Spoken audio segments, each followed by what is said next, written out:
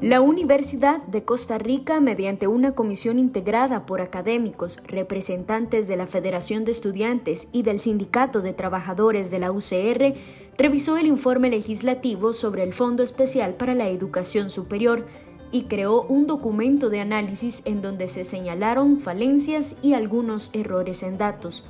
Pese a los señalamientos, el informe de la mayoría que prioriza las finanzas públicas antes que el aporte integral universitario y la autonomía fue aprobado en el plenario. El dictamen lo consideramos deficiente en su concepción de qué es una universidad pública.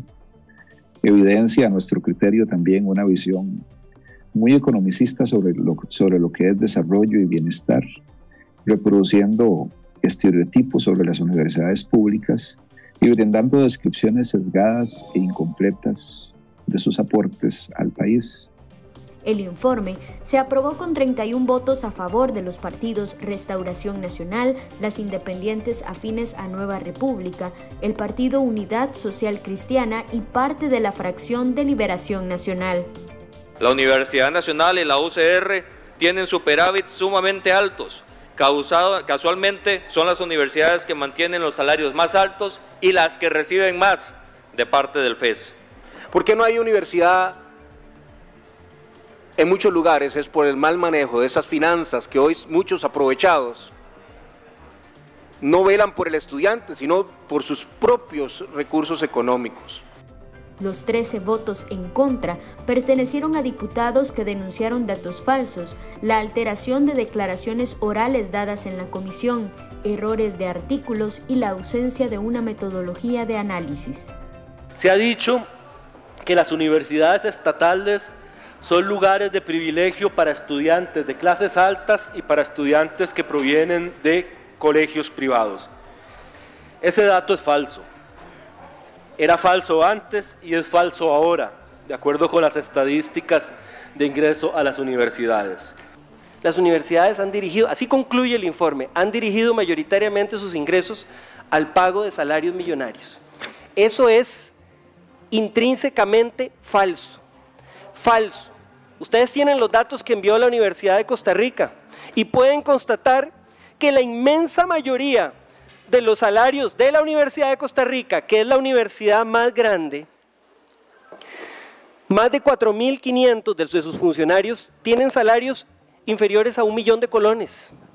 O sea, al final de cuentas, estamos entonces proponiendo que la agenda universitaria la controle o esté a merced de la industria como sucede en muchos otros países ha sido a través de 80 años como una universidad de Costa Rica y las que se han ido sumando a lo largo de la historia hasta el día de hoy, que vienen a fortalecer esa sociedad que nos diferencia el análisis que hizo la Comisión Institucional de la UCR no solo señaló errores, sino también destacó la importancia de fortalecer la educación superior pública y se comprometía a hacer una revisión de los salarios y las acciones en pro de la regionalización. La autonomía pierde vigor cuando se cuestiona y se procura reducir el financiamiento de las universidades públicas. La forma más sencilla de estrangular a las universidades es cercenándoles el presupuesto de lo cual abundan muchísimos ejemplos en América Latina.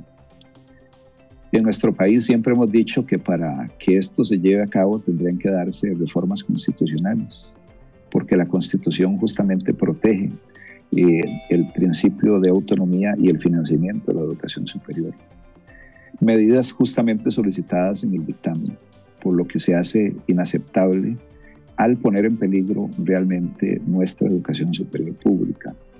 Esta propuesta fue impulsada por el diputado Warner Jiménez del Partido Liberación Nacional. El informe propone una reforma constitucional para poder disponer de los recursos financieros de las universidades y acusó de carencia de sentido crítico a los entes estatales de educación superior.